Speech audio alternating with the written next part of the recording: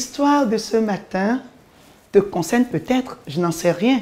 Même si ça ne te concerne pas, essaie de la partager avec quelqu'un que ça peut concerner, on ne sait jamais. Moi, on m'appelle Kensira, je suis thérapeute conjugale, consultante en mariage et famille.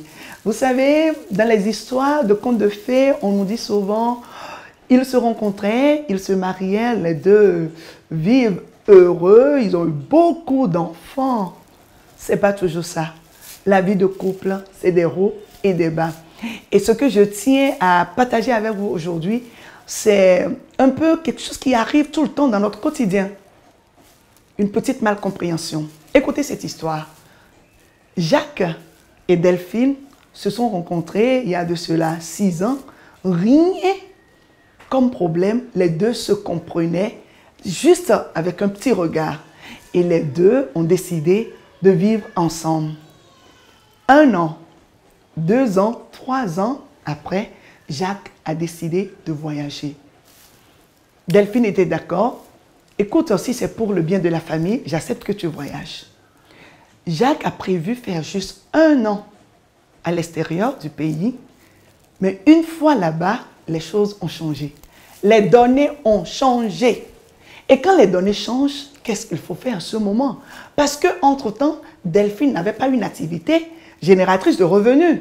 Et donc, depuis là-bas, c'est Jacques qui continuait d'envoyer la popote, l'argent pour subvenir aux besoins de la famille. Ce que je n'ai pas dit, Delphine avait déjà deux enfants pour Jacques. En tout cas, les deux avaient déjà deux enfants. Un an, deux ans, trois ans, quatre ans, cinq ans. Jacques a passé cinq ans à l'extérieur. Les problèmes ont commencé. Naturellement, la famille a commencé par envoyer des messages à Jacques. Delphine a des comportements que nous ne comprenons plus. Les amis ont commencé par envoyer des messages à Jacques. Mais ce qui a manqué à Jacques, c'était de se rapprocher de Delphine pour lui poser la question, mais qu'est-ce qui ne va pas en réalité? Parce qu'en s'entend, entre-temps, le secours que Jacques portait, apportait à, à Delphine, a pris un coup. L'argent ne venait plus comme ça. Et donc, vous comprenez, Delphine a eu d'autres amis ici.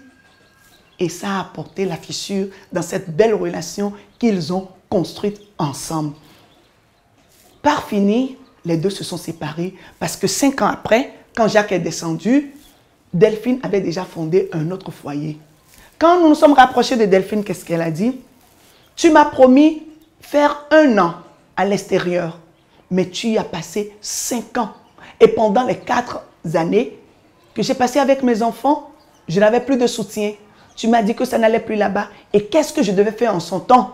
Je t'ai interpellé, j'ai interpellé ta famille, mais personne n'est venu à notre secours. Le peu de moyens que j'avais, tout a disparu. Et donc, il fallait que je sauve mes enfants.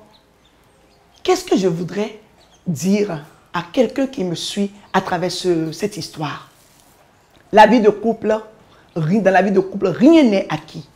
Nous devons constamment communiquer, dialoguer. Quand je dis dialoguer, ce n'est pas que la conversation est d'un seul côté.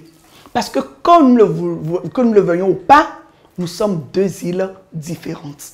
Et donc nous devons faire tout possible pour que dès qu'il y a un petit problème, dès qu'il y a un obstacle dans notre relation, nous asseoir et discuter. Jacques, parti pour un an, a fait cinq ans. Mais c'est tout à fait normal qu'il trouve un petit moment pour descendre au pays, voir un peu comment sa famille va. Parce que quand la famille va, tout va bien.